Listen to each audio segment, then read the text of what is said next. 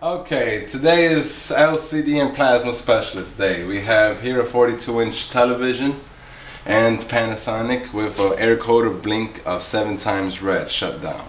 We're going to go ahead and figure out and troubleshoot our problem here today. First we're going to go ahead and plug in the unit. And caution, dumbasses may get electrocuted. Well, if you use proper and procedure, you'll be okay. But if not, you will get shot. Turn on the TV, the TV fans spin, they run, and it shuts down. Right on front here, there's a 7 error code blink on the television, and you will see it turn red. And it, sh- and it It'll blink at seven, times. Yeah. Two, three. And that's after you um, press that power button. So the TV won't turn on, it'll give you an error code blinking seven times. Now we're going to go ahead and do a quick troubleshooting on the television set.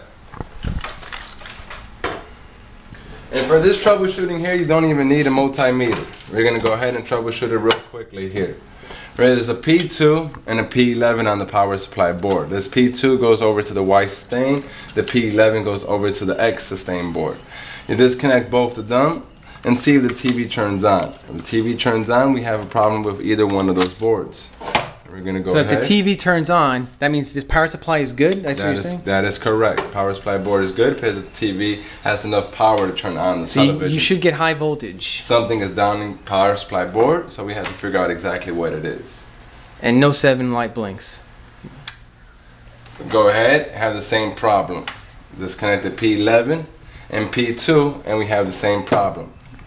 TV turns on, turns right back off. What's that spark? Even though it's unplugged, it still sparks? It's just a high voltage coming off our power supply board. It still carries current on it. oh, so, the please- capacitors hold juice? Oh, definitely so. So just make sure you be real careful with that or you shock yourself.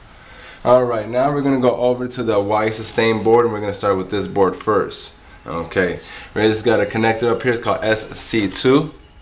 You're gonna disconnect that power um, board, connector from that board, and you're also gonna disconnect a connector called SC20 from the bottom part here. I'm gonna try this.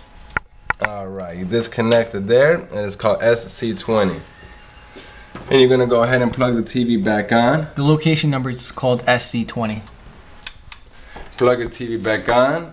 Make sure it clicks your relays, and push the power button.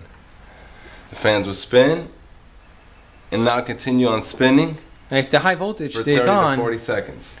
If the high voltage stays on, what does that tell you? Well, now it's telling us that our TV is on, but we have no on-screen display. So this board and this board is good, and most likely this board is bad. You're saying? That is correct. And one way to know that your voltage is correct, you could go ahead and if you have a meter or you go ahead and test that out and, And we have 220 volts there. We have uh, a DC volts, right? Yes. Okay. And right over here on the panel, you can see there's a little chart. It's called VS. It's 214 volts. Oh, it tells you. So that's So pretty close. You have pretty close voltage, so you know your power supply board is bringing out the correct voltage to turn on your television. So this board does what? It turns on our plasma display to the television and The gives screen? us our raster. That is correct. The Turns brightness. The brightness, the raster, and the, the scan. This is our scan driver for the top half of the picture. This goes and covers the top half. This is the bottom scan driver, and it does controls the bottom half of the picture. Connects into your Y sustain board, and the TV turns on through there. So if you're getting a black bar, it could be coming from this board. Or lines also. Right. So this is connected to the panel itself, the uh, plasma panel. Yes. Okay. And also the bottom one is connected to the plasma panel. Okay.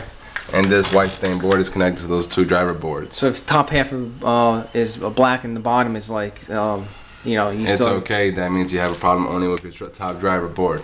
Your power supply is just fine because we have the TV running and you can see our fans and we have our 220 volts. So something on this, something on this board, a component, transistor, capacitor is bad. Most likely bad. If you do not know how to repair, do not have a solder station, please purchase it. And you can check our links below, below, below, um, below. Thank you very much. LCD and plasmaspecialist.com.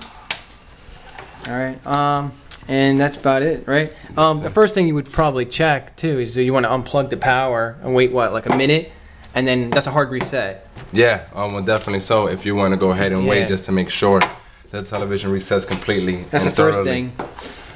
Make sure you take out all the bugs and anything that's in there that could be First reset the confusing the television. All right, cool. All right, thanks, Ruben. Thank you very much. You guys have a great day. And don't forget to subscribe and like.